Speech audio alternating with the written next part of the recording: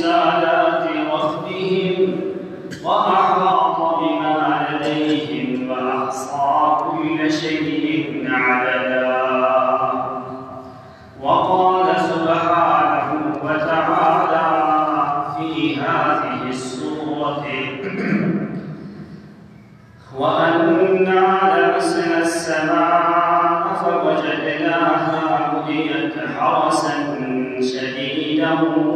وشهبا وأنا كنا نقعد منها مقاعد للسمع.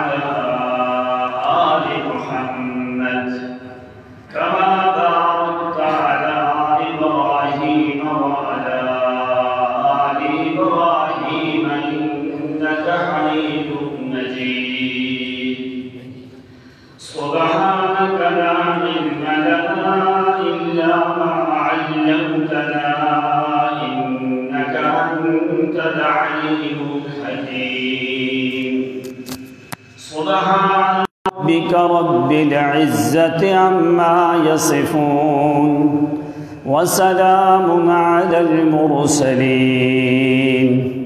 وسلام على من اتبع الهدى إلى يوم الدين. والحمد لله رب العالمين.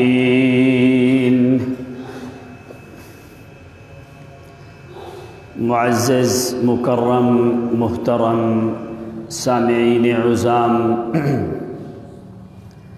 آپ کی خدمت میں اللہ رب العزت کی لا ریب اور بے عیب کتاب قرآن مقدس میں سے آیات مبارکہ تلاوت کی ہیں۔ بارگاہ بے مثل میں التجا اور دعا ہے کہ اللہ کریم صحیح صحیح قرآن و سنت کے مطابق کہہ سکنے کی توفیق عنایت فرمائے۔ اور تمام تر حاضرین، ناظرین کو اللہ صحیح معنوں میں قرآن و سنت کی سمجھ عطا فرمائے۔ آج ستائیس اکتوبر دو ہزار تیئیس اور بالترتیب ہمارا یہ سیرت النبی کے موضوع پہ تقریباً دسواں جمعہ ہے۔ اللہ رب العزت اس دن کو ہمارے لیے باعث نجات فرمائے۔ کہ اللہ کریم کی بہت بڑی عنایت اور رحمت اور مہربانی ہے کہ اس امت کی ہدایت اور رہنمائی کے لیے اللہ کریم نے اپنی کتاب قرآن مقدس کا نزول فرمایا۔ وہ دن بڑا بابرکت دن ہے۔ وہ ہستی بڑی مبارک ہستی ہے۔ وہ ایام بڑے سعادت والے ایام ہیں۔ وہ مکان بڑی رفعت اور بلندی والا مکان ہے۔ جس سے یہ تمام تر چیزوں کو اللہ کریم نے منور فرمایا تو اپنی کتاب قرآن مقدس سے۔ جب بھی لوگ یا قومیں حد سے تجاوز کرنے لگتی ہیں، لوگوں میں برائیاں کثرت سے جنم لینے لگتی ہیں، معاشرہ خراب ہونے لگتا ہے۔ پبلک اور سوسائٹی میں، لوگوں میں، جماعتوں میں، مکانوں میں، شہروں میں، بستیوں میں، جب اللہ کے دین کو ختم کیا جاتا ہے۔ لوگ اپنی منمانی سے اپنی زندگی گزارنے لگتے ہیں۔ دین وحدت جس مقام پہ بھی نایاب اور نادر ہونے لگا، تو اللہ کریم نے وہاں پہ اپنی رحمت کا نزول کیا کہ کسی نہ کسی نبی کو اللہ تعالیٰ نے مبوس فرما دیا۔ اب جس وقت مکے والوں کی حالت خراب ہونے لگی، ہر قسم کی برائیاں جنم لینے لگی، ہر قسم کے گناہ عروج پہ پہنچنے لگے۔ ہر علاقے میں گناہ اور ظلم و ستم کا جب دور دورہ تھا، کوئی ایسا گناہ نہیں تھا جو لوگوں میں پایا نہ جاتا ہو۔ تو جب پورا معاشرہ جس وقت خراب ہوا، پورے معاشرے میں نہ کسی کی جان محفوظ رہی، نہ کسی کا مال محفوظ رہا، نہ کسی کی عصمت اور عزت محفوظ رہی، تباہی ہی تباہی ہر طرف ہونے لگی۔ تو پھر اللہ کریم نے مہربانی کی کہ اس امت کے لیے محمد مصطفیٰ صلی اللہ علیہ وسلم کا انتخاب فرمایا۔ اور یہ ایسا اللہ کریم کا احسان ہے کہ اس احسان کا بدلہ کوئی بھی آدمی ادا نہیں کر سکتا۔ کہ بڑی اللہ تعالیٰ کی نعمتیں انسانوں کے اوپر نعمت سے بلند درجہ ہوتا ہے احسان کا۔ نعمتیں تو آلریڈی لوگ استعمال کر رہے ہیں، کر رہے تھے اور کرتے رہیں گے۔ لیکن اللہ کریم کا احسان جو ہوتا ہے، یہ ایک بڑی اہم اور ایک اعلیٰ چیز ہے۔ اسی لیے جب اللہ کریم نے نبی علیہ السلاۃ والسلام کو مبعوث کرنے کا ارادہ فرمایا، تو اللہ کریم نے فرمایا، لقد من اللہ علی المؤمنین، میں نے مومنوں پہ بڑا احسان کیا ہے۔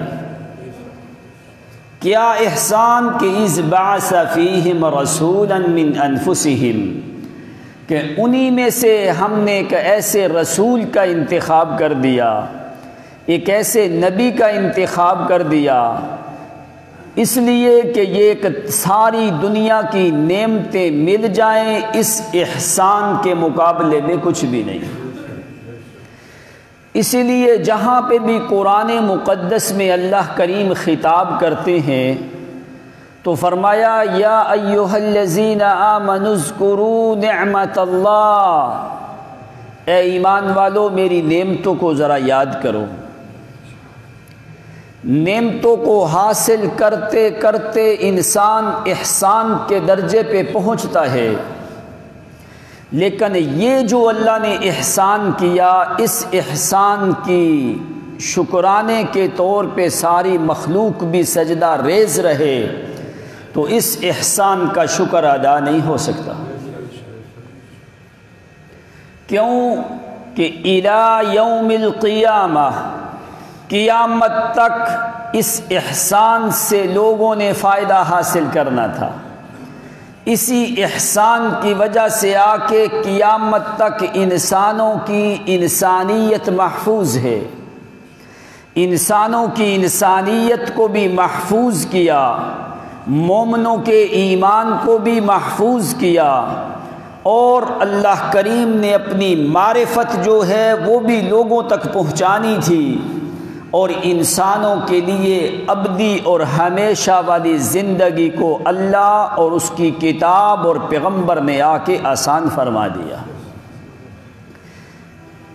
جبکہ انبیاء تو پہلے آتے رہے، جیسے نبی علیہ السلام کو کہا ولاکر رسول اللہ و خاتم النبی جین اللہ کریم نے نبی علیہ السلاۃ والسلام کو آخری نبی بنایا۔ آپ کے بعد کوئی نبی نہیں آئے گا۔ پہلے انبیاء میں سے کیوں کوئی آخری نبی نہیں بنایا؟ اس لیے کہ وہ جو دین چلتا آ رہا تھا، کسی نبی کی شریعت پہ دین کو کامل نہیں کیا۔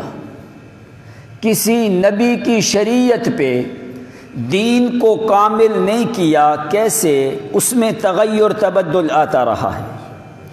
کسی کے اوپر تین نمازیں، کسی پہ چھ نمازیں، کسی پہ چھ ماہ کے روزے کسی پہ تیس روزے، کسی پہ چالیس روزے، تغیر تبدل آتا رہا۔ کسی کا قبلہ بیت المقدس بنایا، کسی کے لیے حلال و حرام کے کوئی اصول، کسی قوم کے لیے کوئی قوانین۔ یعنی آخر کار دین کو، نبوت کو ختم بھی کیا تو محمد صلی اللہ علیہ وسلم پہ، اور دین کو کامل بھی کیا تو امام الانبیاء خاتم النبیین صلی اللہ علیہ وسلم پر۔ جیسے کہ قرآن نے کہا، الیوم اکملت لکم دینکم و اتممت علیکم نعمتی ورضیت لکم الاسلام دینا۔ یہ جملہ سوائے امت محمد مصطفیٰ کے کسی اور نبی اور رسول کو یہ جملہ نہیں کہا گیا۔ واللہ متم نوری اللہ تعالیٰ اپنے نور دین کو مکمل کر دیا ہے۔ لِيُتِمَّ نُورَهُ يُرِيدُونَ أَن يُطْفِئُوا نُورَ اللَّهِ بِأَفْوَاهِهِمْ وَيَابَ اللَّهُ إِلَّا أَن يُتِمَّ نُورَهُ پیغمبر کے وجود سے نبوت کو ختم کیا، قرآن کے وجود سے دین کو ختم کر دیا کہ یہ آخری دین ہے جو میرا محمد لے کے آیا ہے۔ نہ تو نبی کے بعد کوئی نبی آئے گا نہ اس دین کے بعد کوئی اور دین آئے گا، لا یزید ولا ینقص، نہ اس دین میں کمی ہوگی، نہ زیادتی ہوگی۔ پہلی شریعتوں میں کمی زیادتی ہوتی رہی، لیکن شریعت محمدی میں، دین وحدت میں اسلام والا جو دین آیا ہے، جو قرآن نے بتایا ہے، اس میں تغیر تبدل نہیں ہے۔ اسی لیے ایک آدمی آیا نبی علیہ السلاۃ والسلام کے پاس، کہنے لگا، اللہ کے پیغمبر، اخبرنی عن شیئن، آپ مجھے ایک چیز کے بارے میں بتاؤ کہ ولا اسأل بعدک او غیرک، کہ آپ کے بعد مجھے یہ چیز کسی سے پوچھنے کی ضرورت نہ پڑے۔ آپ نے اس کو ایمانیات کا بتایا۔ فرمایا الایمان باللہ۔ اللہ تعالیٰ کی وحدانیت پہ ایمان لا۔ میں محمد کی نبوت اور رسالت کی گواہی دے، نماز کو قائم کر، زکوٰۃ کی ادائیگی کر، رمضان کے روزے رکھ، اور اگر طاقت ہو تو بیت اللہ کا حج کر۔ اس نے کہا، اللہ کے پیغمبر، اس کے علاوہ، نمازوں کے علاوہ، آپ نے فرمایا اللہ انت ہاں مگر اگر تو نفل نماز پڑھنا چاہتا ہے تو وہ تیری مرضی۔ ہے فرمایا فرضی زکوٰۃ کے علاوہ آپ نے فرمایا اللہ انت مگر یہ کہ تو نفلی صدقہ دینا چاہے تو دے لے۔ لیکن تیرے اوپر فرض یہ چیزیں ہیں۔ آگے اس آدمی نے کہا، واللہ لا ازید ولا انقص۔ نہ میں اس میں کمی کروں گا، نہ میں اس میں زیادتی کروں گا۔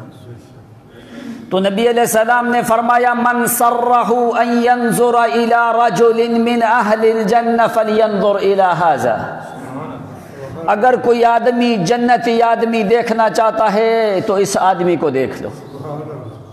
کیوں؟ اس لیے کہ دین میں ابھی کمی زیادتی کی ضرورت۔ الیوم اکمل تو لکم۔ اب دین کامل کر دیا۔ اب جب کامل ہو گیا ہے کامل بھی کیا محمد کے وجود پہ۔ نبوت کا سلسلہ بند کیا تو محمد کے وجود پہ۔ کتابوں کا سلسلہ بند کیا تو قرآن کے وجود سے۔ کیوں؟ اس لیے کہ الا یوم القیامہ، قیامت تک نہ کسی اور کتاب کی ضرورت ہے، نہ کسی دین کی ضرورت ہے، نہ کسی شریعت کی ضرورت ہے، نہ کسی نبی کی اور ضرورت ہے۔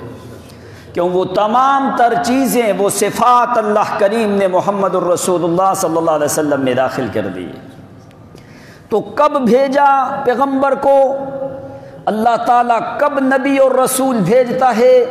جب ظلم و زیادتی عروج پہ ہوتے ہیں جب بے حیائی عروج پہ ہوتی ہے۔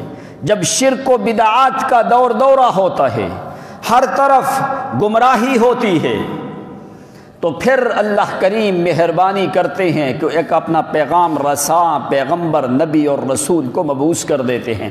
تاکہ بھٹکنے والے لوگ جو ہیں، ذلت اور خاری میں رہنے والے لوگ جو ہیں، گناہوں کے اندر دن رات جن کے گزرتے ہیں ان کے دلوں میں میں خدا کی معرفت ختم ہو چکی ہے۔ پھر اللہ ایک نمائندہ بھیجتا ہے تاکہ نئے سرے سے اس ویران شدہ دلوں کو دوبارہ آباد کیا جائے۔ اس ویرانگی کو، حیرانگی کو آبادگی میں بدلا جائے، جہاں پہ پشیمان ہیں۔ اس لیے قرآن نے کہا، کسی کو ایمان کی حقیقت کا پتہ نہیں تھا، کسی کو دین کا پتہ نہیں تھا، ایمان کا پتہ نہیں تھا۔ تو اللہ کریم نے فرمایا کہ یہ میں خدا کی بڑی رحمت ہے کہ میں نے اس امت کے لیے نبی بھی اعلیٰ دیا اور کتاب بھی اعلیٰ دی اور دین کو بھی کامل کر دیا۔ اب تمہیں کسی اور دین اور شریعت میں جانے کی طرف ضرورت نہیں ہے۔ اس لیے نبی علیہ السلام نے فرمایا، جس تک میں محمد کا دین پہنچ گیا، قرآن جیسی کتاب پہنچ گئی، دین اور شریعت پہنچ گیا وہ اگر کسی اور نبی کی شریعت پہ صحیح معنوں میں بھی عمل کرے گا تو وہ سیدھا جہنم میں جائے گا۔ اس لیے پیغمبر کی موجودگی میں کسی اور نبی کی شریعت پہ بھی عمل ہو سکتا۔ قرآن کی موجودگی میں کسی آسمانی کتاب کے مطابق بھی آدمی زندگی گزار سکتا نہیں ہے۔ تو کب بھیجا اللہ کریم نے؟ شروعات کیا ہیں؟ پہلے جس نبی کو بھیجا جاتا ہے، اس نبی کی رہنمائی اللہ تعالی خواب کے ذریعے کرتے ہیں۔ اور انبیاء کی جو خوابیں ہوتی ہیں، فرمایا کہ کفلق صبح، جس طرح صبح نکلنے میں شک نہیں ہوتا، اسی طرح ہونے والے نبی کی خوابوں میں بھی شک نہیں ہوتا۔ جب نبوت سے چند ایام پہلے کثرت سے خوابیں آنے لگی، جو بھی آپ رات کو خواب دیکھتے، وہ صبح کو خواب پوری ہو جاتی۔ یہ شروعات نبوت میں سے انبیاء کے دلوں کو مضبوط کیا جاتا ہے۔ تو فرمایا، الرؤیا الصالحہ، خوابوں کا صحیح ہونا۔ ایسے جیسے کہ آدمی بیداری میں دیکھتا ہے، رات کو خواب آتی، دن کے ٹائم پہ اسی طرح جو ہے وہ حالات ہوتے۔ تو ابتدائی زمانے میں جس وقت نبی علیہ السلاۃ والسلام کی عمر مبارک چالیس سال کے قریب پہنچنے لگی اور یہ جو چالیس سال ہوئے، یہ قمری مہینوں کے مطابق جو ہیں چالیس سال اور کچھ مہینے نبی علیہ السلاۃ والسلام کی عمر مبارک جو ہے وہ ہو چکی تھی۔ تو اللہ کریم نے ارادہ کیا تاکہ اس امت کی رہنمائی کے لیے ایک مستقل نبی، مستقل شریعت، مستقل دین، ایک کامل اور اکمل جو ہے اصول اور ضابطہ لوگوں کے سامنے وضع کیا جائے۔ تو آپ نے خواب میں دیکھا، نبی علیہ السلاۃ والسلام نے فرمایا کہ انی لعارف حجرن کان یسلمنی میں اس پتھر کو ابھی جانتا ہوں، میں اس درخت سے ابھی واقف ہوں۔ جس وقت قبل النبوت، جس وقت نبوت سے پہلے میں گزرتا، تو یسلمنی۔ وہ درخت اور پتھر مجھے ہر روز سلام کرتا۔ قبل النبوت و انی عارف الان آپ نے فرمایا نبوت سے پہلے وہ غار ہرا کا راستہ جو جاتا ہے، بیت اللہ شریف سے نکل کے جنت المالا سے گزرتے ہوئے مسجد جن کے پاس سے وہاں پہ دو مسجدیں ابھی بھی موجود ہیں، چھوٹی مسجدیں۔ ایک کا نام مسجد شجرہ ہے، ایک کا نام مسجد حجر بھی ہے۔ آپ نے فرمایا، عارف الان۔ او لوگو، میں ابھی بھی اس پتھر کو جانتا ہوں۔ وہ پتھر جو ہے، فرمایا، میں محمد ابھی بھی اس پتھر کی مجھے پہچان ہے کہ جب میں گزرتا تو وہ پتھر مجھے سلام کرتا۔ اور وہ درخت جو ہے، جب سائے کی ضرورت پڑتی تو میں گزرتا تو وہ درخت میرے قریب آ جاتا۔ یہ نبوت سے پہلے کی علامات تھی۔ تو جس وقت یہ چیزیں دیکھیں، خواب بھی آنے لگے الرویا الصالحہ۔ تو نبی علیہ السلام والسلام کو حضرت عائشہ صدیقہ فرماتی ہیں حب الخلا نبی علیہ السلام والسلام کو پھر تنہائی میں رہنا، وہ پیغمبر کو محبوب بنا دیا گیا ہے۔ کان یتحنس فی غار ہرا۔ نبی علیہ الصلات والسلام پھر تنہائی کے لیے غار ہرا میں چلے جاتے۔ سیتزود من خدیجہ۔ اپنی بیوی خدیجہ سے زاد را لے کے کچھ پانی، کچھ چنے، کچھ جو لے کے نبی علیہ الصلات والسلام چلے جاتے غار ہرا میں۔ غار ہرا میں جا کے اللہ کریم کی تنہائی میں عبادت کرتے رہتے، عبادت کرتے کرتے ایام گزرتے رہے۔ بلغا، یہاں تک کہ چالیس سال کی عمر مبارک کو پہنچ گئے۔ آتے نبی علیہ السلاۃ والسلام چند دن کے بعد آتے بیت اللہ کا طواف کر کے سیدہ خدیجہ کے پاس رکتے، پھر کچھ سامان اور پانی لے کے پھر غار ہرا کی طرف چلے جاتے۔ یہی معمول زندگی نبی علیہ السلاۃ والسلام کا ہے۔ مسلسل عبادت کرتے رہے وہاں پہ۔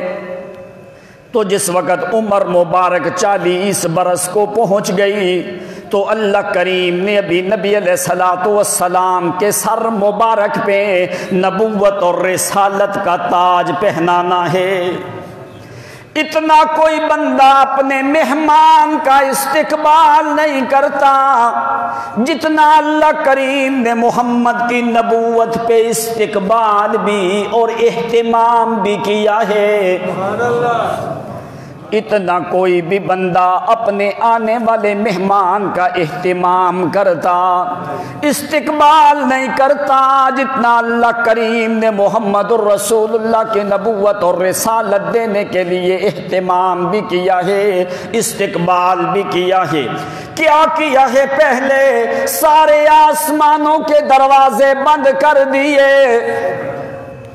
وَأَنَّا لَمَسْنَا السَّمَاءَ فَوَجَدْنَاهَا مُلِيَتْ حَرَسًا شَدِيدًا وَشُهُبًا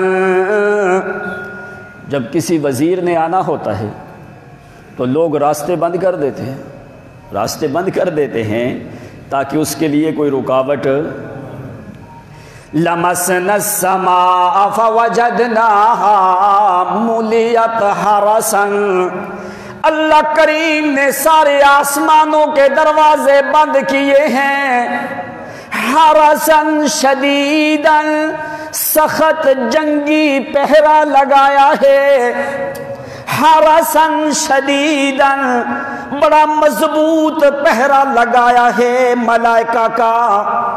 کہ آسمان کا کوئی دروازہ کھلا نہ ہو۔ سارے آسمانوں کے مکمل طور پہ دروازے بند کر دیے جائیں۔ سارے دروازے بند کر کے کونوں کناروں کے اوپر ہرسن شدید بڑے بڑے پہرے دار کھڑے کیے ہیں نوری مخلوق کے۔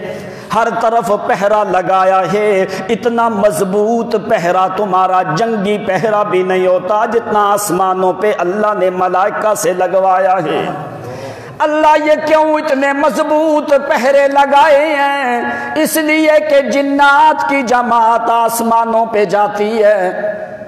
آسمانوں کے دروازوں کے بہر باہر بیٹھ کے یہ ملائکہ کی باتیں سنتے۔ کہ آسمان پہ کیا مشورہ ہو رہا ہے؟ وہ باتیں سن کے نیچے آ کے کاہنوں، ساحروں، نجومیوں کو آ کے بتا دیتے کہ بھئی آج ہم نے یہ باتیں سنی ہیں۔ دنیا کے اس خطے میں یہ ہونے والا ہے۔ تو جو نجومی کاہن، ساحر تھے نا، وہ ایک بات میں سینکڑوں باتیں اور ملا کے لوگوں کے سامنے بیان کر دیتے تو اس لیے جنات نے خود کہا وَأَنَّا كُنَّا نَقْعُدُ مِنْهَا مَقَائِدَ لِلسَّمْعِ فَمَنْ يَسْتَمِعِ الْآنِ يَجِدْ لَهُ شِهَابًا رَّصَدًا کہنے لگے، ابھی کیا ہوتا ہے؟ پہلے تو آسمان پہ جا کے ہم بیٹھ جاتے تھے، باتیں سن لیتے تھے مقائد للسمع او کوئی باتیں ملائکہ کی چرا کے ہم لے آتے تھے، زمین پہ آ کے نجومیوں کو بتاتے تھے، کاہنوں کو، ساحروں کو، جادوگروں کو، مشاوزین کو ان کو ہم بتاتے، او کیا فاشناس لوگوں کو ہم باتیں بتاتے تھے۔ پھر وہ لوگوں کے سامنے ظاہر کر دیتے تھے، لیکن ابھی کیا ہے؟ لمسن السما ابھی آسمان کو یوں ٹٹولنے لگتے ہیں، چھونے لگتے ہیں، دروازوں سے چڑھنے لگتے ہیں۔ لمسن السما فوجدناها ملئت حرسا شدیدا۔ ابھی جب آسمان کو یوں ہاتھ لگانے لگتے ہیں، تو دیکھتے کہ آہیں مولیت پورے آسمان بھرے ہوئے ہیں۔ کس چیز سے؟ حرسن شدیدن بڑا سخت پہرا لگ چکا ہے آسمانوں کے اوپر۔ نہ کوئی جن بڑا جا سکتا ہے، نہ کوئی فریت، نہ بڑا، نہ چھوٹا، کوئی بھی وہاں پہ جا سکتا۔ ہارسن شدیدن بڑا سخت پہرا لگ چکا ہے۔ لگتا ہے کوئی دنیا میں یا تو کوئی بڑی مصیبت آنے والی ہے۔ ہم نہیں جانتے اشر ام اراد بہم ربہم رشدا۔ ہم نہیں جانتے کہ زمین کے اوپر یا تو کوئی بڑی مصیبت آنے والی ہے۔ یا پھر اللہ کریم نے کوئی بھلائی کا ارادہ کیا ہے۔ اتنا لمبا زمانہ گزرا آسمان کے دروازے بند نہیں ہوئے۔ ہمارے لیے کوئی رکاوٹ نہیں ہوتی۔ ابھی کیا ہے؟ لمس نسما۔ ابھی ہم مس کرنے لگتے ہیں، ہاتھ لگانے لگتے ہیں۔ تو مولی ات پورا آسمان کے اوپر برے مجاہد کھڑے ہیں، غازی کھڑے ہیں، ملائکہ کھڑے ہیں اسلحہ لے کے۔ وہ اوپر کسی کو آنے کی اجازت بھی دیتے۔ ہارسن شدیدن اتنا سخت پہرا تو ہم نے کبھی دیکھا بھی نہیں ہے۔ کیوں؟ اللہ تعالیٰ نے سارے راستے بند کر دیے۔ کیوں؟ اس لیے کہ محمد الرسول اللہ کا استقبال ہونا تھا۔ ملیت حرسن شدیدن و شہبن اگر ہم کوشش کر کے اوپر ہاتھ لگائیں بھی شہبن آگ کا شولہ لگتا ہے۔ ہم اوپر پہنچنے کی طاقت بھی۔ یہ اللہ نے اوپر اہتمام کیا ہے۔ سارے آسمانوں کے اوپر جو ہے، اللہ تعالیٰ نے پہرا لگا دیا۔ کیوں پہرا لگایا؟ یہ جو اللہ نے کتاب نازل کرنی تھی نا، تاکہ کتاب کے یہ ظاہر ہے لوح محفوظ سے آنی ہے۔ آتے آتے آتے آتے آتے راستے میں کوئی جن اس کا کوئی کلمہ چورا نہ لے۔ قرآن مقدس لوح محفوظ سے ایک ہی دفعہ بیت العزت میں اتارا گیا ہے۔ لوح محفوظ سے پورا قرآن ایک ہی دفعہ بیت العزت میں اتارا گیا ہے۔ پھر بیت العزت سے پھر آہستہ آہستہ قرآن نازل ہوا ہے۔ کیوں ادھر نبی علیہ صلاۃ والسلام کی عمر مبارک چالیس سال کو پہنچ چکی تھی۔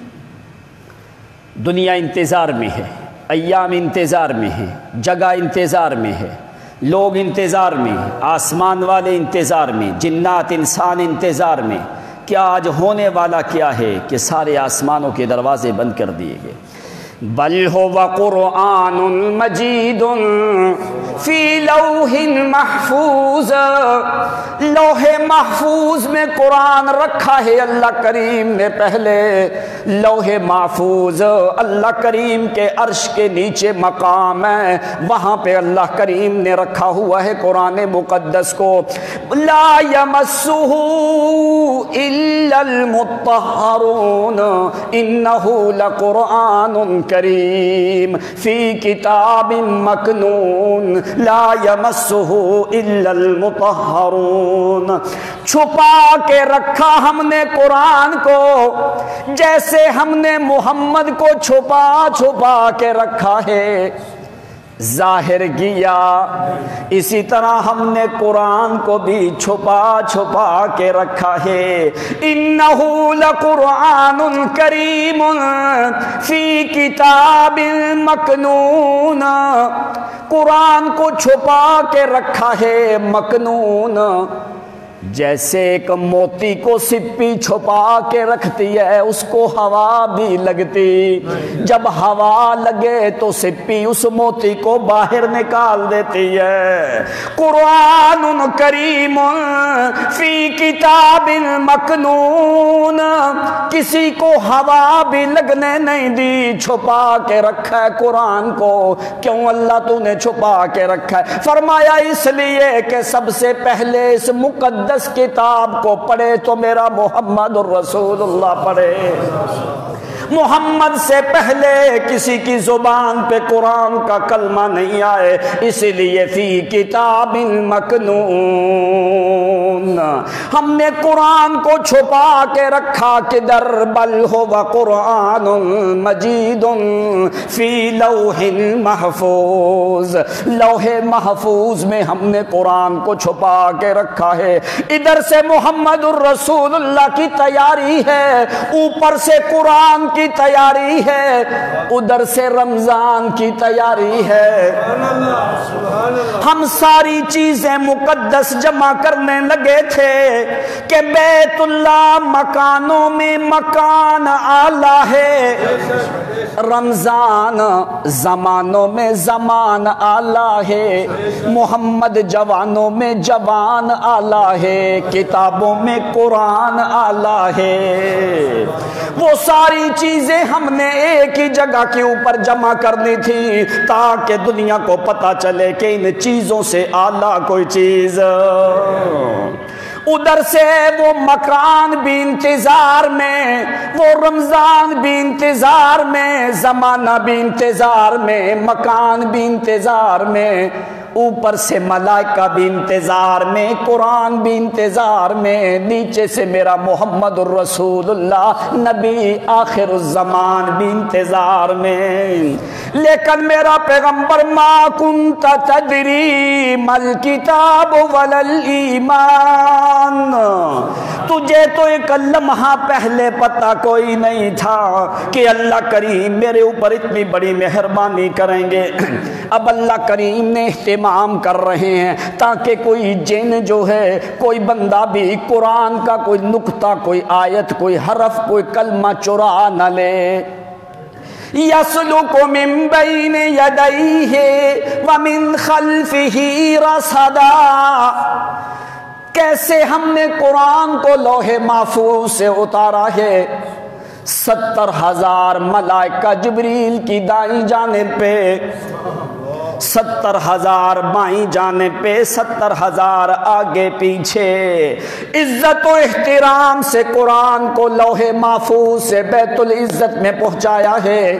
بیت العزت میں پہنچا کے قرآن کو رکھا ہے کہ ابھی کب شروع کریں گے؟ اس قرآن کا کلمہ پڑے گا۔ سب سے پہلے میرا محمد الرسول اللہ پڑے گا۔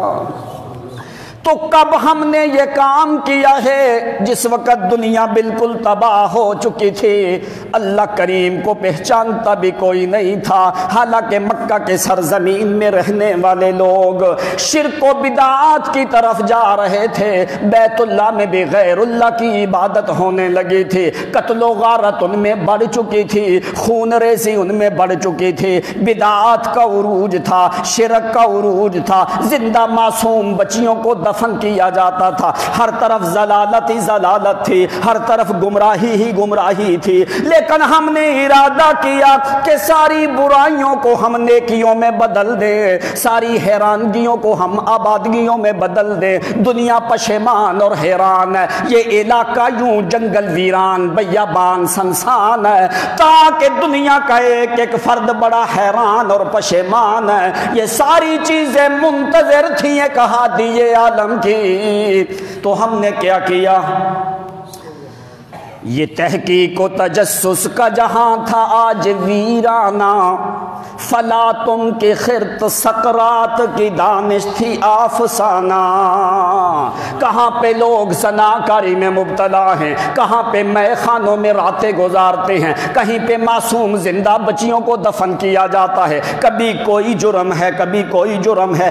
تحقیق و تجسس کا جہاں تھا آج ویرانہ، فلا تم کے خرت سکرات کی دانش تھی آفسانہ کہ دنیا میں چاروں سمت ادھیرا ہی ادھیرا تھا، نشان نور گم اور ظلمت کا بسیرا تھا۔ اللہ کریم کی توحید والا نشان بھی کوئی نہیں تھا، ایمان والا نشان بھی کوئی نہیں تھا، ایمان توحید والا نور بھی کوئی نہیں تھا۔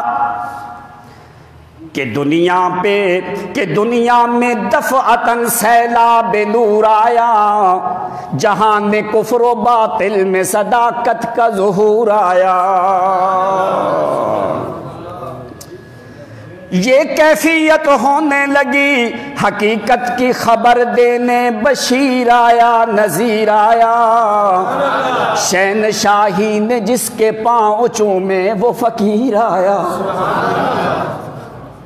او مبارک ہو زمانے کو ختم المرسلین آیا صحاب رحم بن کر رحمت للعالمین آیا۔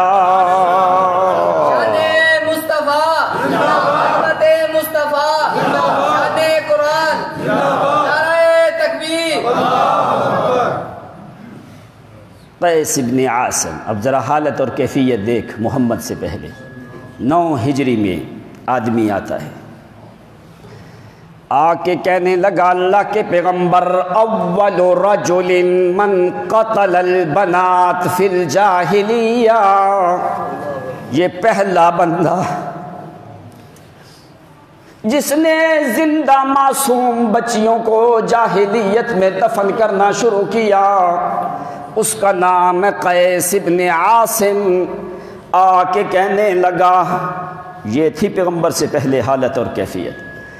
اللہ کے پیغمبر انی وعدت تو سمانیہ بنا تو اللہ کے پیغمبر میں نے آٹھ بچیوں کو زندہ دفن کیا ہے۔ دوسری روایت میں ہے سنتی عشر بناتن اللہ کے پیغمبر، میں نے بارہ بچیوں کو زندہ اپنے ہاتھوں سے دفن کیا ہے۔ کیوں دفن کیا ہے؟ کہنے لگی، اتنی محبت والی معصوم بچیوں کو میں نے اپنے ہاتھوں سے دفن کیا ہے۔ وَلَهُ سَلَاسٌ وَسَلَاسُونَ وَلَدًا، جس کے تینتیس لڑکے زندہ ہیں۔ تینتیس لڑکے جس کے زندہ ہیں، قیس ابن عاصم کے۔ اسلام میں آنے لگا۔ نبی علیہ السلام نے فرمایا فَغْتَسِلْ بِمَائِلْ وَسِدْرٍ جا پہلے جا کے پانی میں بیری کے پتے ملا کے۔ پانی میں بیری کے پتے ملا کے۔ غسل کر کے پھر میں محمد کے قریب آ۔ جاتا ہے جا کے بیری کے پتے لے کے پانی میں ڈال کے اس نے غسل کیا ہے۔ غسل کر کے پھر آتا ہے۔ آ کے کہنے لگا، مسلمان بھی ہوا ہے، کلمہ پڑا ہے۔ تو حضرت ابو بکر صدیق نے پوچھا، ولی مازا و ادتا اور تو نے اپنی بچیوں کو زندہ کیوں دفن کیا ہے؟ کہنے لگا انی اخاف وی اخلف لی غیر کفوین مجھے اس بات سے ڈر تھا کہ میرے علاوہ میرا کف دوسرا نہ ہو۔ میری بیٹیاں کسی کے گھر میں نہ جائیں۔ میری طرف سے میرا قبیلہ دوسرا نہ ہو۔ صرف میرا ہی قبیلہ رہے۔ اس وجہ سے آ کے میں نے اپنی بچیوں کو زندہ دفن کیا ہے۔ تو نبی علیہ السلام کو کہتا ہے، اللہ کے پیغمبر میں نے آٹھ یا بارہ بچیوں کو زندہ دفن کیا ہے۔ ایک ایک بچی کے دفن کے ٹائم پہ جو میری کیفیت تھی، جو معصوم بچیوں کی حالت تھی، وہ میں بیان کرنے کے قابل کوئی نہیں کہ کہیں ابھی اسلام میں مجھے پتہ چلا ہے کہ جو معصوم بچی کا حق جو اسلام نے دیا ہے، وہ کسی اور مذہب نے دیا۔ یہاں تک کہ اللہ کے پیغمبر جس وقت میں دفن کرنے لگتا تو وہ میرے رخساروں پہ بوسے بھی دیتی رہی۔ میرے پاؤں سے مٹیاں بھی ہٹاتی رہی۔ میں گڑا کھودتا، وہ چیخو پکار بھی کرتی رہی۔ لیکن شیطان نے میرا دل سخت کیا اللہ کے پیغمبر۔ واللہ انی ودعتو۔ میں نے آٹھ یا بارہ بچیوں کو میں نے اپنے ہاتھوں سے زندہ دفن کیا ہے۔ تو اللہ کے پیغمبر، ابھی میرے لیے کیا حکم ہے؟ نبی علیہ السلام نے فرمایا، آتک منہن فی کل رقبت ہر بچی کے عوض میں ایک گردن آزاد کرنی ہے، ایک غلام آزاد کرنا ہے۔ کہنے لگا، اللہ کے پیغمبر غلام کوئی نہیں۔ کیا کروں؟ اہدی وین شیتا بدنتن۔ اللہ کے پیغمبر، اگر آپ اجازت دے تو میں ایک اونٹ جو ہے، ایک بچی کی طرف سے قربان کرتا جاؤں۔ حضرت علی فرماتے ہیں دوسرے سال میں وہ دو سو اونٹ لے کے آیا ہے۔ تو حضرت علی فرماتے ہیں، ان اونٹوں کا نام ہی ہم نے قیسیہ رکھ دیا، قیس ابن عاصم کے وجہ سے آ کے وہ دو سو اونٹ اس نے صدقہ کیا ہے اپنی بچیوں کی طرف سے، جو اس نے بچیاں زندہ اپنی دفن کی ہیں۔ اسی لیے فرمایا، وَإِذَا بُشِّرَ أَحَدُهُمْ بِالْأُنْثَى ظَلَّ وَجْهُهُ مُسْوَدًّا وَهُوَ كَظِيمٌ۔ کہ میرے پیغمبر کی آمد سے پہلے مخ مخلوق کا حق بھی محفوظ کوئی نہیں تھا۔ خالق کا حق بھی محفوظ۔ ہر طرف یہ کیفیت اور حالت تھی۔ جس وجہ سے آ کے پھر اللہ فرماتے ہم نے ارادہ کیا محمد الرسول اللہ کو بھیجنے کے لیے۔ تو جس وقت آسمان پہ پہرے لگائے، زمین پہ پہرے لگائے تاکہ محمد الرسول اللہ صلی اللہ علیہ وسلم کی طرف نبوت اور رسالت کا تاج پہنایا جائے۔ چالیس برس کی عمر مبارک ہو چکی ہے شمسی کمری اعتبار سے کمری مہینوں کے اعتبار سے۔ ادھر سے رمضان المبارک کا مہینہ بھی آیا ہے۔ تو ہم نے کیا کیا؟ لقد استفاہ اللہ جل جلالہ وحباہ منہ بمعجز قرآن او لوگوں میں خدا کے پاس قرآن سے بڑھ کے چیز کوئی نہیں تھی اوپر میرے پاس قرآن سے بڑھ کے کوئی اعلیٰ کتاب اور زمین پہ محمد سے بڑھ کے کوئی اعلیٰ انسان بھی کوئی نہیں تھا۔ لقد استفاہ اللہ جل جلالہ وحباہ عنہ بمعجز القرآنی میں نے محمد الرسول اللہ کو وہ چیز دینی تھی جو میری خدائی میں سب سے اعلیٰ ہے۔ قرآن سے اعلیٰ میری خدائی میں کوئی کتاب۔ تو اللہ تو نے کب دی؟ فعتت امام قہتانی کہتا ہے فعتت علیہ اربعون فاشرقت شمس النبوت منہ فی رمضانی او لوگوں مشرق سے سورج طلوع ہوتا ہے، فاران کی چوٹیوں سے محمد طلوع ہوا ہے۔ او جو مشرق سے سورج نکلتا ہے، وہ شام کو غروب ہوتا ہے۔ اللہ کی قسم، محمد کی نبوت والا سورج جب نکلے، قیامت تک بھی کبھی غروب ہوگا۔ فاتت علیہ اربعون فاشرکت شمس النبوت منہ فی رمضان۔ واتاہ جبریل الامین معلما۔ من عند رب بمنعم منان لقد استفاه الله جل جلاله وحباه منه بمعجز القرآن. فدعا إلى الرحمن جل سناؤه ونهى عن الاشراك والكفران. وهم الخصوم له، فكيف بفرقة نبذه الهدى بغباوة الأذهان. کہنے لگا، چالیس سال پورے ہوئے ہیں دنیا میں محمد کے آنے سے پہلے اندھیرا ہی اندھیرا تھا۔ تو اللہ کریم نے دنیا میں بادشاہوں کا اتنا استقبال نہیں ہوتا جتنا محمد کا استقبال اللہ کریم نے کیا ہے۔ حرسن شدیدن و شہبن مکمل پہرے لگائے گئے۔ ادھر چالیس برس کی عمر کو پہنچ گئے نبی علیہ السلام بھی غار ہرا میں موجود ہیں۔ کان یتحنس فی غار ہرا۔ غار ہرا میں موجود ہے ادھر رمضان المبارک کا مہینہ بھی داخل ہو چکا ہے۔ ادھر سے اللہ کریم نے کیا کیا ہے؟ جبریل کو حکم دیا۔ کہ جاؤ میرے محمد الرسول اللہ کو جا کے نبوت اور رسالت کی خوشخبری دو۔ اللہ فرماتی ہے اللہ من ارتضى من رسول، من ارتضى من رسول۔ او لوگو محمد پہ میں راضی ہوا۔ ارتضا محمد کو میں نے چنا ہے۔ مرتضا اس کو کہا جاتا ہے جس پہ ایسا راضی ہو دوبارہ کبھی بھی ناراض۔ ایک ہوتا ہے مصطفیٰ، ایک ہوتا ہے مرتضی۔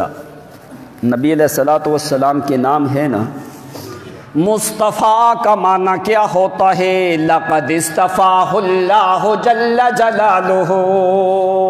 کہتے ایک چیز کو تم لوگ چنتے ہو۔ تم سب سے اچھی چیز کا چناؤ کرتے ہو۔ تو تو نے سوچا کہ محمد کو مخلوق نے چنا نہیں۔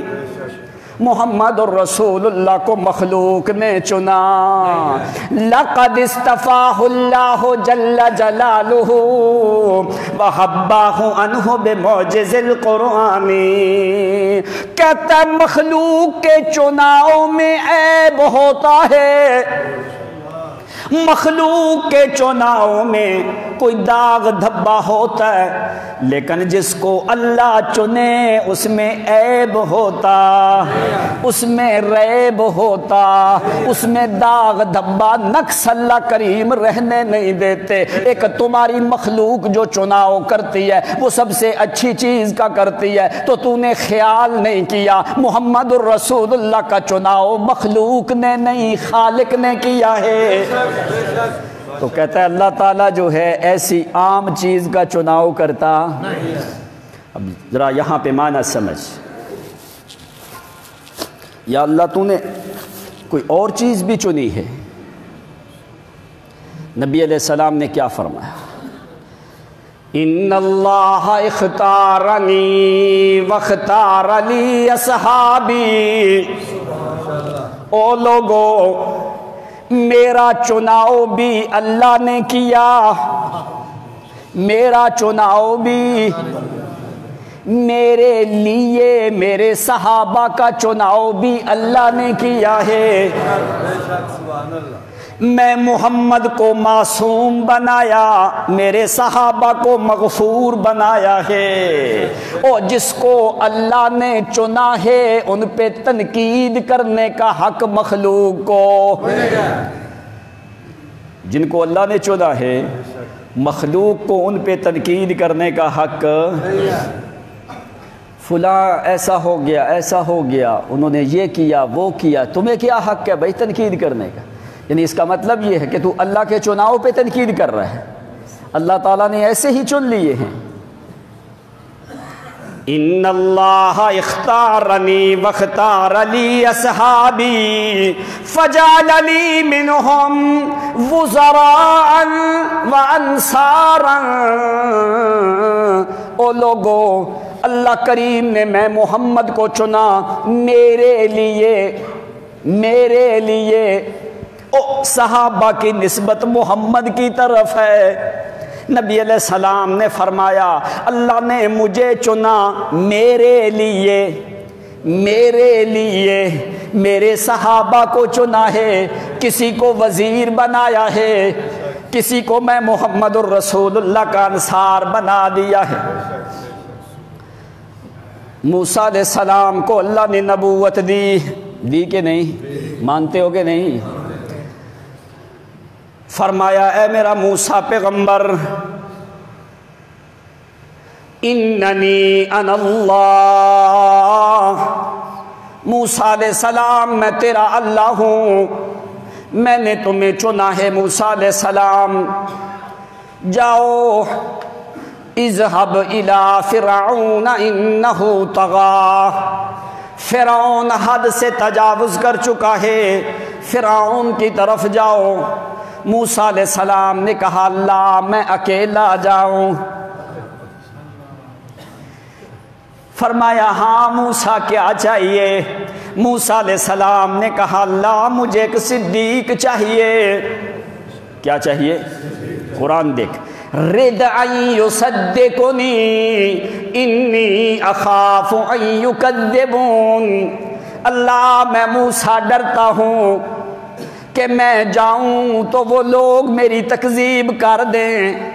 تو میری کمر پہ ہاتھ رکھنے والا کوئی صدیق تو ہو۔ کوئی بندہ تو ہو جو میری کمر کے اوپر ہاتھ رکھے مجھے دلاسا دے کہ اے موسیٰ علیہ السلام گھبرا نہیں۔ انکا انت الاعلا موسیٰ علیہ السلام تم ہی غالب رہو گے۔ اے اللہ میں اکیلا۔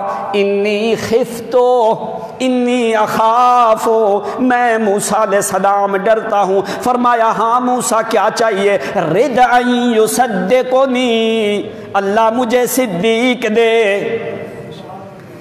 وا کمال محمد کا۔ موسیٰ نے صدیق مانگا تو اللہ نے دیا۔ محمد نے مانگا، کوئی نہیں، بغیر مانگے اللہ نے صدیق عطا کر دیا ہے۔ موسیٰ علیہ السلام نے مانگا نا، تو پھر اللہ نے دیا۔ نبی علیہ السلام نے مانگا۔ اللہ نے فرمایا، میرا پیغمبر، تو نے مانگا نہیں۔ لیکن میں تمہیں صدیق وہ دوں گا جس کا تیری امت میں کوئی بھی مقابلہ نہیں کر سکے گا۔ جا اب صد کے وصدق به اولئک هم المتقون۔ چوبیسواں سے پارا علی بن نبی طالب تفسیر کرتے ہیں۔ جا اب صدق محمد۔ علی بن ابی طالب کی تفسیر کیا ہے اس آیت کی۔ حضرت علی فرماتے ہیں جا اب صدق محمد وصدق به ابو بکر۔ حضرت علی فرماتے ہیں لوگوں یہ جو قرآن کی آیت ہے، اس سے ابو بکر صدیق کی صداقت قرآن سے ثابت ہے۔ تو اس لیے نبی علیہ السلام نے فرمایا، اللہ نے میں محمد کو بھی چنا، میرے لیے، میرے صحابہ کو بھی۔ تو اللہ کے چناؤ میں شک ہو سکتا، جن کو اللہ چنے ان کے ایمان میں شک۔ قرآن نے کیا کہا؟ اللہ من ارتضا من رسول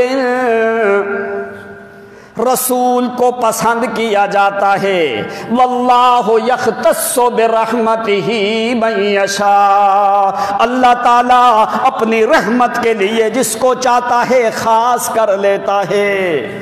جس کو چاہتا ہے خاص کر لیتا ہے۔ اللہ یجتبی من رسلہ من یشاء۔ اللہ خوب جانتے ہیں کہ رسالت کا حق ادا کون کرنے والا ہے۔ اس لیے فرمایا، میرا پیغمبر پہلے رسولوں میں ایک صفت تھی۔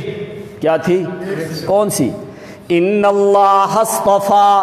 آدم ونوحا وآل ابراہیم وآل عمران علی العالمین۔ پانچ خاندانوں کو اللہ کریم نے چنا ہے۔ ان اللہ اصطفى آدم ونوحا وآل ابراہیم وآل عمران علی العالمین۔ آدم کو بھی چنا نو کو بھی، ابراہیم پیغمبر کو بھی، آل عمران کو بھی اللہ کریم نے چن لیا ہے۔ ان کو اللہ نے چنا ہے۔ ان کے لیے فرمایا، استفا، محمد کے لیے فرمایا، مصطفیٰ، کیوں؟ پہلے میں نے ساری دنیا سے لوگوں کو چنا، پھر ان چناؤں میں سے پھر میں نے محمد کو چنا ہے۔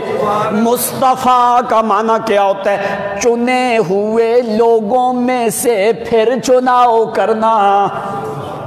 مرتضی والی صفت کیا ہے؟ مرتضی، جس پہ میں راضی ہوں۔ ارتضا یرتضی، ارتضان، فہو مرتضی۔ جس پہ میں راضی ہوں، ایسا راضی کہ جس کے اوپر دوبارہ کبھی ناراض ہونا۔ کیسے؟ والا سوف والا سوف یوتی کا ربو کا فترضا قرآن نے مانا کیا سمجھایا؟ میرا پیغمبر، میں تو تمہارے اوپر پہلے کا راضی ہوں۔ میں تو تمہارے اوپر پہلے کا راضی ہوں۔ اگر راضی نہ ہوتا تو میں نبوت بھی کبھی نہ تمہیں دیتا۔ لیکن میرا پیغمبر، ابھی میں خدا نے تمہیں راضی کرنا ہے۔ والا سوف یوتی کا ربو کا فترضا میں تجھے راضی کرتا رہوں گا میرا پیغمبر دنیا میں۔ کب تک راضی کرتا رہوں گا؟ والا سوف یوتی کا ربو کا فترضا قبلتن فول وجہ کا قبلہ تنگ ایک ایک چیز دے کے میں محمد تمہیں راضی کرتا رہوں گا۔ اگرچہ تم راضی ہو۔ پیغمبر راضی ہے کہ نہیں؟ جب آدمی راضی ہو نا، پھر اس کو کوئی اور انعامات دیے جائے تو وہ اور زیادہ خوش ہوتا ہے۔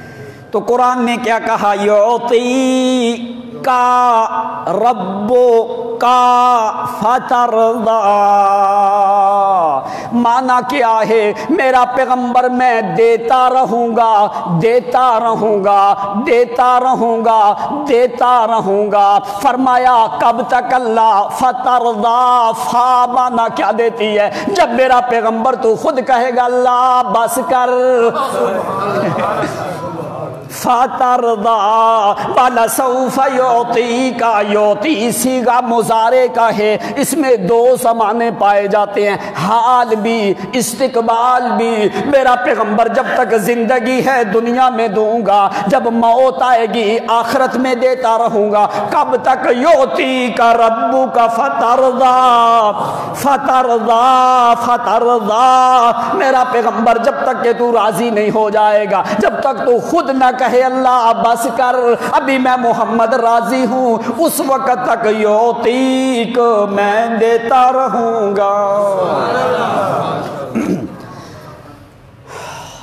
یسلو کو ممبئی نے یدئی ہے ادھر اللہ نے جبریل کو کہا ہے، جبریل تیاری کر۔ ابھی تو نے ایسے رسول کی طرف جانا ہے جس جیسا رسول پہلے آیا۔ ایسی کتاب لے کے جانی ہے جس کتاب جیسی پہلے کتاب بھی۔ یوتیک تیاری کر، میرا پیغمبر جبریل جلدی تیاری کر، ادھر رمضان المبارک کا مہینہ بھی داخل، ادھر نبی علیہ السلام غار ہرا میں موجود ہے، ادھر ملائکہ کو حکم دیا یسلو کو من بین یدئی ہے ومن خلفہی رسدن راسادن جب اوپر سے قرآن اتارا اس وقت اللہ فرماتے ہیں ہراسن شدیدن شہوبن بڑا مضبوط پہرا لگایا ہے۔ جب قرآن کو بیت العزت سے نیچے اتارنے لگے نبی علیہ السلام والسلام کے اوپر۔ تو کیا ہوا؟ فرمایا، راسادن، یسلک من بین یدیہ ومن خلفہ جبریل آگے بھی، پیچھے بھی دائیں بھی، بائیں بھی، کیا ہے؟ من بین یدئی ہے ومن خلفی راسادن فرشتوں کا پہرا لگایا ہے۔ اللہ یہاں پہ کیوں پہرا لگایا ہے؟ لیعلم ان قد ابلغوا رسالات ربهم میں نے یہ بتانا ہے کہ میرا محمد تیری زبان سے پہلے قرآن کا کلمہ کسی نے پڑھا؟ جبریل کے ستر ہزار ملائکہ آگے اور ستر ہزار ملائکہ پیچھے اور دائیں بائیں۔ استقبال کی حالت میں قرآن مقدس کو لایا جا رہا ہے۔ نبی علیہ السلاۃ والسلام غار ہرا میں موجود ہیں۔ مکہ میں، اب ذرا جہاں پہ دیکھو۔ زمان بھی اعلیٰ، زمان بھی، مکان بھی۔ قرآن بھی اور جوان بھی ساری چیزیں اعلیٰ ہوئیں۔ یہاں تک کہ اللہ نے زمانے کو بھی اعلیٰ لے کے آئے۔ لیکن نبی علیہ السلام والسلام سے پہلے کسی کو رمضان کا پتہ قرآن کا پتہ نہیں تھا۔ جب جبریل آئے تو نبی علیہ السلاۃ والسلام کیا نہ یتحنس، آپ عبادت میں مشغول تھے۔ جبریل آئے، آ کے سلام کیا۔ تو فرمایا اقرا اللہ کے پیغمبر پڑھو۔ آپ نے فرمایا، ما آنا بقارئن۔ کہ میں پڑھا ہوا۔ یعنی میں محمد کا کوئی معلم اور استاد نہیں ہے۔ کسی کے سامنے میں دوزانو ہو کے بیٹھا نہیں ہے۔ ادھر قرآن کہتا ہے، میرا پیغمبر ما کنت تدری مل کتاب ولل ایمان آپ کو کتاب کا بھی پتہ، ایمان کی مکمل حقیقت کا بھی علم نہیں تھا۔ ولا تخطه بیمینک آپ اپنے دائیں ہاتھ سے لکھنا بھی جانتے نہیں تھے۔ کمال اس میں کیا ہے؟ کہ جس کا کوئی معلم نہیں، جس کا کوئی استاذ نہیں جس کا کوئی ٹیچر پڑھانے والا نہیں، جس نے کسی سے سیکھا نہیں، جو لکھنا نہیں جانتے، جو پڑھنا نہیں جانتے، جو کتاب کا علم نہیں ہے، اللہ کریم نے ساری دنیا کے معلمین کا معلم بنایا تو محمد الرسول اللہ کو۔ پیغمبر نے ایک لفظ بھی مخلوق کے کسی فرد سے پڑھا نہیں۔ ہے یہ کمال ہے محمد الرسول اللہ صلی اللہ علیہ وسلم۔ اگر انہوں نے مکے والوں نے بڑا شور کیا کہ محمد کو فلاں فلاں کاہن جو ہے وہ آ کے سبق پڑھا جاتا ہے۔ فلاں فلاں آدمی جو ہے وہ آ کے سبق پڑھا جاتا ہے۔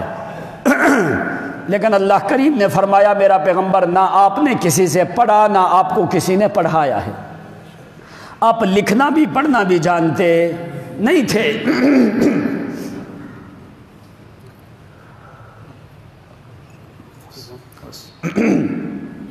پتہ نہیں اسپیکر کو وہ مسئلہ ہے یا پتہ نہیں گلے کو۔ ولا تخطه بیمینک دائیں ہاتھ سے لکھنا بھی جانتے، پڑھنا بھی جانتے۔ معلم بھی کوئی نہیں۔ کون ہے معلم؟ وَأَتَاهُ جِبْرِيلُ الْأَمِينُ مُعَلِّمًا۔ مِنْ عِنْدِ رَبِّنْ مُنْعِمٍ مَنَّانِينَ کوئی معلم نہیں، میرا محمد تیرا۔ لیکن میں ساری دنیا کے معلمین کا تمہیں امام بناؤں گا۔ تیرا کوئی استاد کوئی نہیں، لیکن ساری دنیا کے استادوں کا استاد میں محمد کو بناؤں گا۔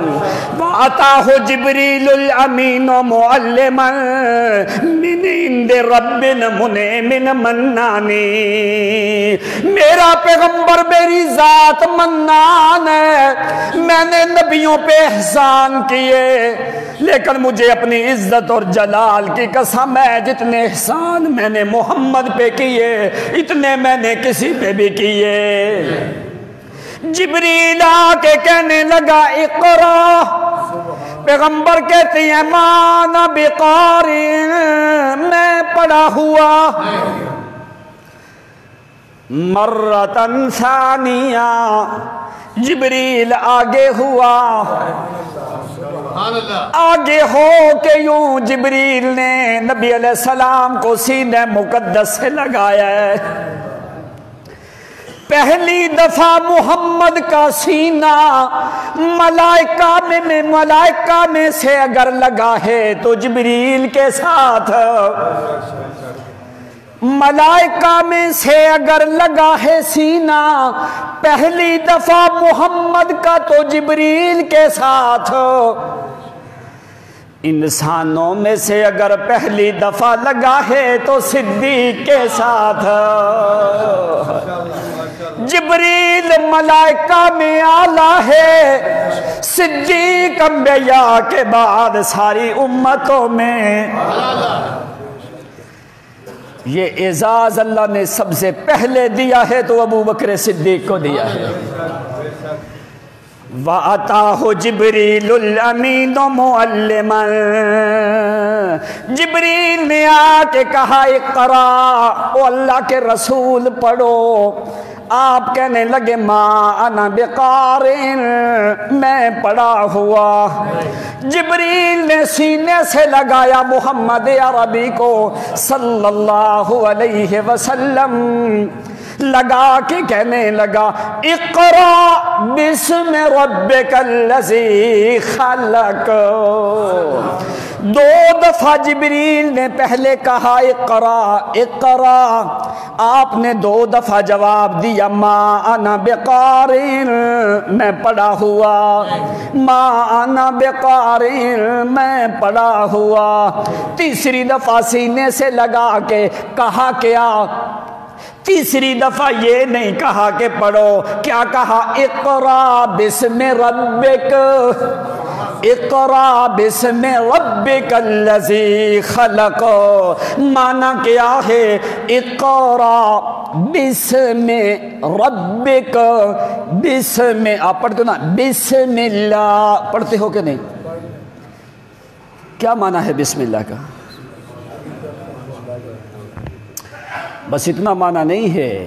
بس میں یہ با کیا معنی دیتی ہے؟ بس میں اس با کو کہا جاتا ہے البا للاستعانت یہ قرآن کی فصاحت اور بلاغت ہے کہ قرآن کے نقطوں میں بھی اللہ نے اپنی معرفت کو ذکر کیا ہے۔ قرآن کے حروف کے اندر بھی اپنے ذکر اور برکت کو ذکر کیا۔ بس میں معنی کیا ہے؟ با استعانت کے لیے ہے۔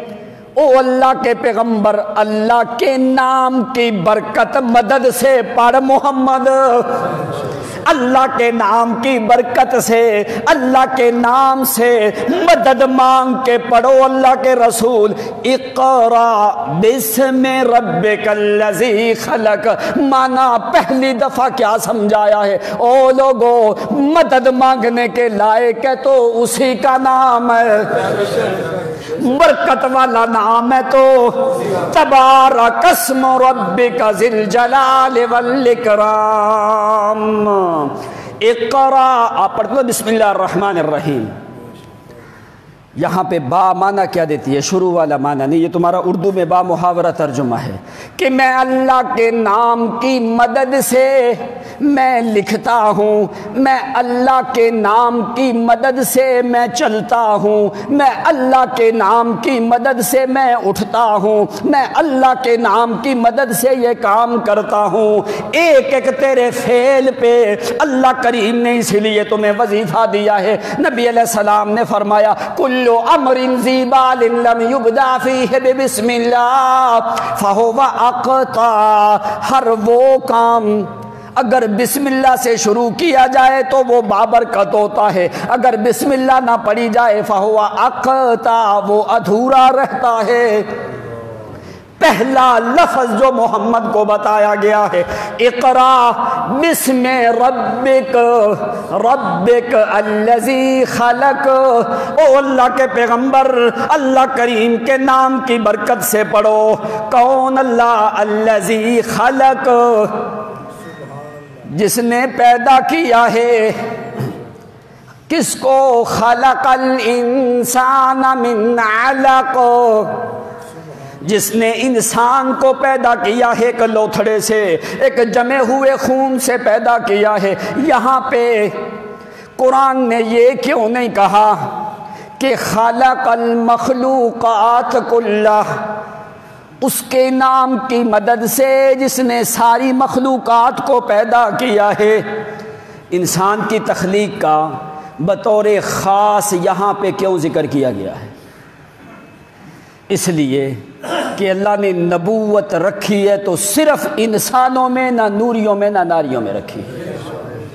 اس لیے انسانی مخلوق جو ہے، یہ تمام تر مخلوقات کلیہ سے اللہ کریم نے اعلیٰ اور افضل بنائی ہے۔ لقد خلقنا الانسان فی احسن تقویم۔ پیغمبر سے انبیاء جو ہیں، تمام تر انسانوں میں اعلیٰ ہوتے ہیں اور انسانی جن سے انسانی تمام تر مخلوقات سے کیا ہے؟ اعلیٰ ہے۔ تیسری دفعہ جبریل نے کہا اقرا بسم ربک الذی خلق۔ اللہ کے نام کی مدد سے پڑھو۔ تو نبی علیہ السلام نے فرمایا، بے ساختہ طور پہ میں محمد کی زبان سے جاری ہو گیا۔ جس نے کبھی بھی پہلے پڑھا لکھا، اقرا بسم ربک الذی خلق خلق الانسان من علق. اقرا اقرا، وربک الاکرم وربک الاکرم. پڑھ میرے پیغمبر تیرا رب بڑا ہی کرامت والا ہے۔ تیرا رب بڑا ہی عزت والا ہے، بڑا ہی شرافت والا ہے۔ اقرا و ربک الاکرم۔ تیرا رب اکرم ہے۔ قرآن کریم قرآن کریم ہے۔ لانے والا فرشتہ لقول رسول کریم، وہ فرشتوں میں کریم ہے۔ تو انہو لقول رسول کریم۔ وما ہوا بقول شاعر۔ تو میرا محمد سارے انسانوں میں کریم ہے۔ قرآن محمد انسانوں میں کریم ہے، قرآن کتابوں میں کریم ہے، فرشتہ فرشتوں میں کریم ہے۔ وہ رب کل اکرم تیرا رب ساری دنیا سے زیادہ کریم ہے۔ اقرا و رب کل اکرم الزی علم بالقلم۔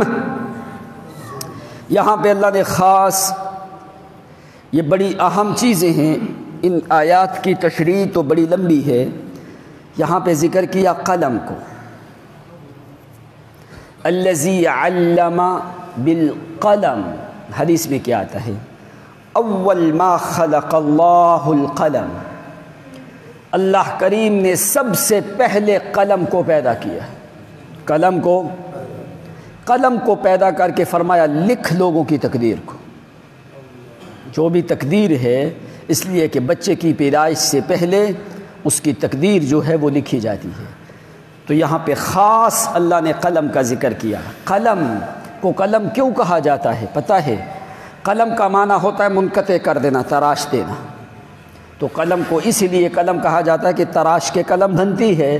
اس لیے تو اللہ نے فرمایا الزی علم بالقلم۔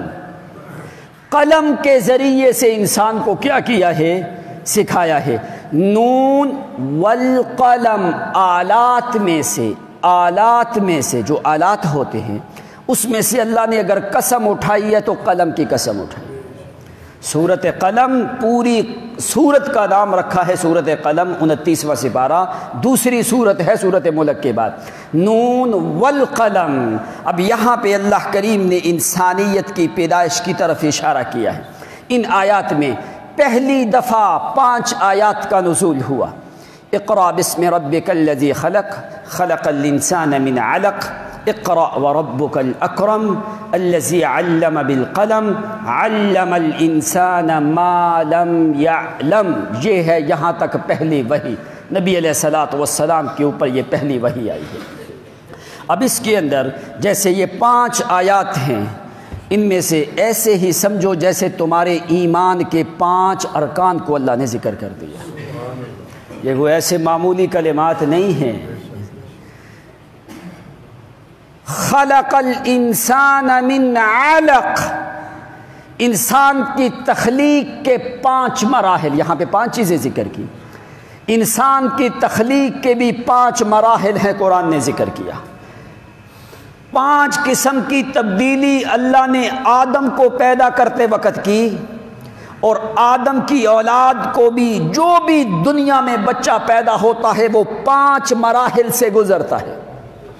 جو بھی بچہ پیدا ہوتا ہے پانچ مراحل سے گزرتا ہے۔ اگر پورے قرآن کا تو ذرا مطالعہ کر تو تجھے یہ پانچ چیزیں ملیں گی۔ آدم کی تخلیق اللہ نے ایسے نہیں مٹی اٹھا کے کر دی۔ اللہ کریم نے پہلے فرمایا کہ خالق بشر من طین۔ ہم نے انسان کو مٹی سے پیدا کیا۔ پھر فرمایا خلق خلقکم من تراب۔ اس مٹی کو لے کے اس میں پانی داخل کر دیا۔ دوسرا مرحلہ۔ زمین کے مختلف مراحل سے مٹی اٹھائی۔ یہ اللہ کریم نے دلائل عقلیہ تجھے دیتے ہیں جو پہلی وہی میں قرآن نے تیری تخلیق کی طرف تمہیں متوجہ کیا ہے۔ کیوں؟ فرمایا تیری پیدائش میں جیسے کوئی دوسرا شریک ایسے میری عبادت میں بھی تمہیں کسی اور کو شریک کرنا نہیں۔ ہے۔ منتین مٹی لی اللہ نے ہر طرف سے۔ اس کے اندر اللہ نے پانی ڈال دیا۔ تراب تیسرا مرحلہ من طین لازبن پانی ڈال کے گوند کے آٹے کی طرح اس کو رکھ دیا۔ جب اس کو رکھ دیا تو اس کی سورج کی روشنی سے اس کی رنگت بدلنے لگی۔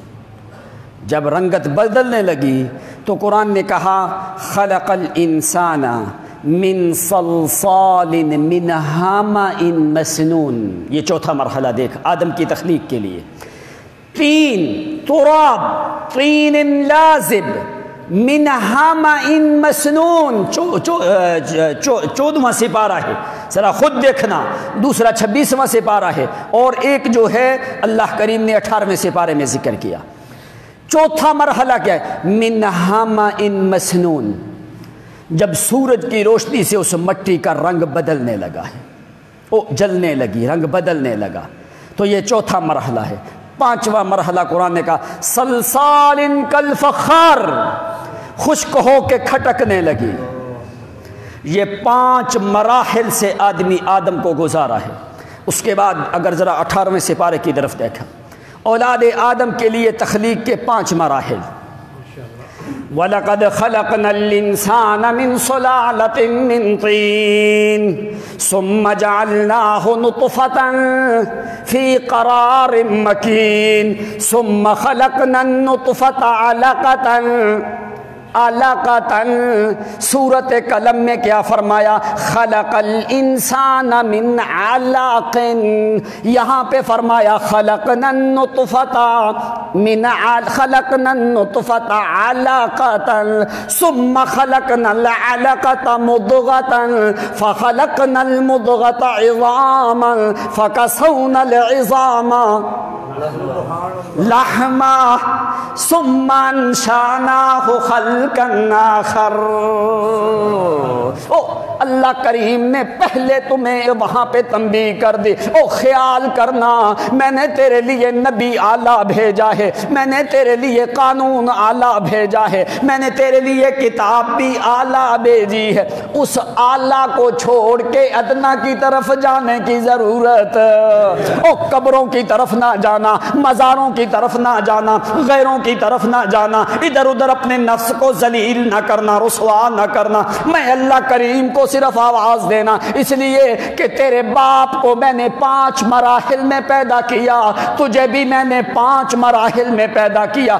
بتا، نہ تو تیرے باپ کی پیدائش میں کوئی شریک ہے، نہ تیری پیدائش میں میرا کوئی شریک ہے۔ فتبارک اللہ احسن الخالقین۔ خلق الانسان من علق. اس لیے یہ پانچ آیات کا پہلے نزول ہوا ہے. تیرے لیے ایمان کے رکن بھی کتنے؟ اسلام کے رکن بھی کتنے؟ نمازیں بھی کتنی؟ اگر تم پڑھو نہ پڑھو. ہیں تو پانچ، لیکن آپ پتہ نہیں کتنی پڑھتے ہو. یعنی خلق الانسان من علق اقرا وربک الاکرم. اقرا وربک الاکرم. میرا پیغمبر تیرے رب کی ذات بڑی کرامت والی ہے. مکے والوں نے پہلا اعتراض کیا کیا. کہنے لگے، لولا نزل هذا القرآن على رجل من القريتين عظیم. کہنے لگو دیکھو یہ یتیم ہے. اس کی پیدائش سے پہلے اس کا باپ چلا گیا۔ چھ سال کی عمر میں اس کی والدہ چلی گئی آٹھ سال کی عمر میں اس کا دادا چلا گیا۔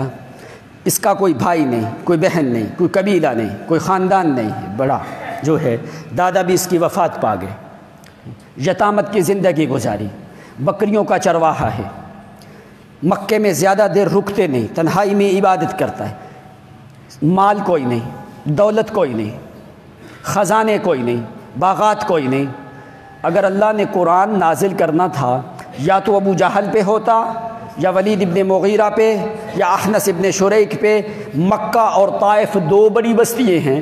ان بستیوں میں سے کسی ایک بستی کے سردار پہ قرآن نازل ہوتا۔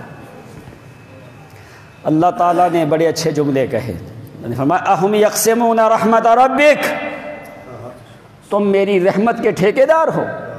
تمہاری شکلیں ہیں نبوت والی۔ تمہاری شکلیں ہیں نبوت والی۔ اللہ یجتبی من رسولہ من یشا ساری دنیا ایک طرف محمد الرسول اللہ کے ایک ساس کا مقابلہ بھی نہیں ہو سکتا۔ فرمایا، جس کو میں نے رسول بنایا ہے، مکے والو، سن لو، ماں کی گود میں نے محمد کو کیوں نہیں دی؟ باپ کی شفقت میں نے کیوں نہیں دی؟ دادا کا انس میں نے کیوں نہیں دیا؟ وہ ساری محبتیں، شفقتیں میں خدا نے خود دی ہے محمد کو۔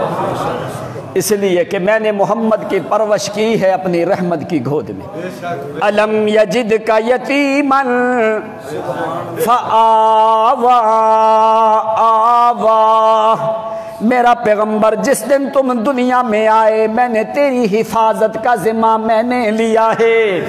فآوا، تیرے زندگی کے ایک لمحے کے اوپر فآوا، میں نے تیری حفاظت کی ہے۔ قرآن کے نزول کی وقت اللہ کریم نے قرآن کی حفاظت کی ہے کہ نہیں؟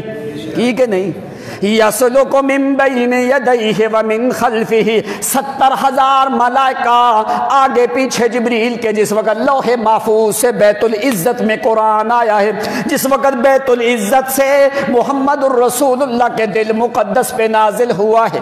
کہاں پہ نازل ہوا؟ باتوں سے بات نکل آتی ہے۔ آمنو بمان علا قلبی کا کدھر نازل ہوا؟ ایک اور بات ذرا سمجھنا۔ کوئی آسمانی کتاب بھی قرآن جیسی کوئی آسمانی کتاب بھی اللہ نے کسی نبی کے دل پہ نازل۔ بات سمجھ آ رہی ہے کہ نہیں؟ کوئی آسمانی کتاب بھی اللہ کریم نے کسی نبی کے دل پہ نازل قرآن پورا دیکھو، کہیں اول سے لے کے آخر تک۔ ایک مقام بھی ایسا نہیں، اللہ تعالیٰ نے نزول کا ذکر کیا ہے۔ تو اللہ کریم پیغمبر کے بارے میں کیا فرماتے ہیں؟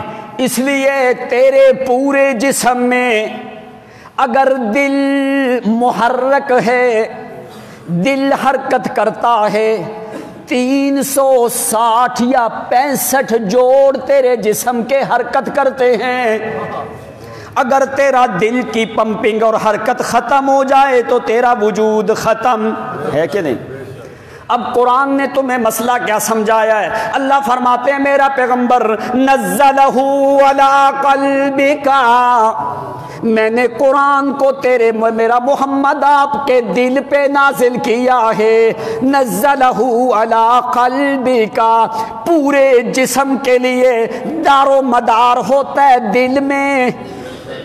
پورے جسم کے لیے دار و مدار ہوتا ہے دل میں۔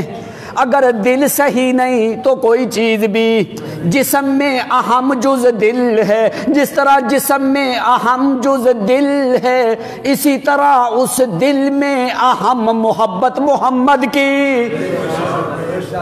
اگر جس دل میں محمد کی محبت کوئی نہیں۔ قرآن سے پوچھ، میں نہیں فتویٰ لگاتا، پہلے لوگ کہتے ہیں، ہم فتویٰ۔ ہم تو بھائی صوفی لوگ ہیں، ہم فتوے۔ پیغمبر کا دل پاک ہے کہ نہیں؟ بڑے نادان اور جاہل لوگ ہیں جو کہتے ہیں کہ محمد کے وجود کے اوپر اور دل دماغ کے اوپر بھی وجود کے اوپر جادو کا اثر ہوا سال پک پیغمبر کو ہوش حواسی نہیں تھے۔ اللہ ان لوگوں کو ہدایت دے، محمد کے وجود پہ ایک بال کے اوپر بھی، محمد کے ایک بال کے اوپر بھی جادو کا اثر اللہ فرماتے میں نے قرآن کی بھی حفاظت کی، صاحب قرآن کی بھی حفاظت کی ہے۔ اگر تیرا دل میں محمد کی محبت کوئی نہیں، تو اللہ وہ بندہ ہے، انسان ہے یا کوئی اور چیز ہے۔ قرآن سے پوچھ لیں اللہ فرماتے ہیں اولائک کل انام مولویوں سے نہیں پوچھو۔ مولوی تو دغا بازی کر جاتے ہیں، کتمان کر جاتے ہیں۔ او پیسوں کی لالچ میں مسئلہ بیان نہیں کرتے۔ چھوڑو مولویوں، شولویوں کو میں تمہیں بتاؤں، جس دل میں میرے محمد کی محبت کوئی نہیں۔ مانا کیا ہے، اس میں ایمان بھی۔ کوئی نہیں، تو جو ایسا بندہ ہے، اللہ اس کی دو آنکھیں ہیں، دو کان ہیں۔ پیشانی ناک بولتا چالتا لباس انسانوں والا، شکل شباہت انسانوں والی۔ اللہ فرماتے ہیں، ٹھیک ہے اولائی کا کلن عام۔ تمہیں ڈھانچہ انسانوں کا نظر آتا ہے۔ میرے کاغذوں میں انسان نہیں، وہ جنگل کا جانور ہے۔ وہ کیا ہے؟ کلنا میں بل عدل۔ اگر محمد سے محبت کوئی نہیں، زندگی بھر لگا رہے، ایمان کا ایک ذرہ بھی تمہیں مل سکتا نہیں ہے۔ تو محبت کا تقاضا کیا ہے؟ ہر عیب والی چیز سے محمد کو دور کر۔ ہر ریب والی چیز سے محمد کو دور رکھ۔ ہر داغ والی، دھبے والی چیز سے محمد کو دور رکھ۔ امام بوسیری اسی لیے کیا کہتا ہے؟ دامدات ہن نسارا فی نبیہم وحکم بما شیت مدہن فی وحتکمی او محمد کا کلمہ پڑھنے والے، میں بوسیری تمہیں وسیعت کرنے لگا ہوں۔ جو مرضی کلمہ کہہ جو مرضی کلمہ کہہ لیکن محمد کی تعریف والا کلمہ کہنا۔ کوئی ایسا جملہ نہ بولنا جس میں اشارتن یا کنایتن محمد کی کوئی توہین کا پہلو نظر آنے لگے۔ نہیں نہیں، جیسا بھی کلمہ کہہ کہ محمد کی تعریف والا جملہ۔ کوئی ایسا جملہ نہ کہہ دینا۔ اب اللہ کریم نے مانا کیا، سمجھایا۔ جبریل قرآن لے کے آیا ہے۔ اللہ فرماتے یسلو کو ممبئی یدئی آگے پیچھے پہرے لگا دیے۔ ہر طرف سے بیت العزت سے جبریل فاران کی چوٹیوں پہ اترنے لگا۔ غار ہرا جو بلند چوٹی ساڑھے تین میل سے زیادہ اس کی بلندی ہے۔ وہاں پہ اترنے لگا۔ آگے پیچھے ملائکہ ہیں۔ قرآن نے مانا کیا سمجھایا ہے۔ کہ لوگوں محمد کی زبان سے پڑھنے سے پہلے کوئی بندہ بھی قرآن کا جملہ پڑھ سکتا۔ نہیں ہے، اللہ نے قرآن کو با حفاظت اتارا ہے۔ کیا کیا ہے؟ بحفاظت اتارا ہے۔ قرآن نے کیا سمجھایا؟ انا نحن نزلنا و انا له لحافظ میرا نبی قرآن کو ہم نے محفوظ اتارا ہے، محفوظ دل میں اتارا ہے۔ قرآن کی حفاظت بھی میرے میرے ذمہ صاحب قرآن کی حفاظت بھی میرے ذمہ قرآن نے لی کہ نہیں؟ واللہ یعصمک من الناس۔ میرا پیغمبر تیری حفاظت بھی۔ اب یہ جو پانچ آیات ہیں، آگے جو کیفیت اور حالت ہے، وہ کیا ہے؟ وہ انشاءاللہ آئندہ جمعے پہ ذکر ہوگی واخر الدعوان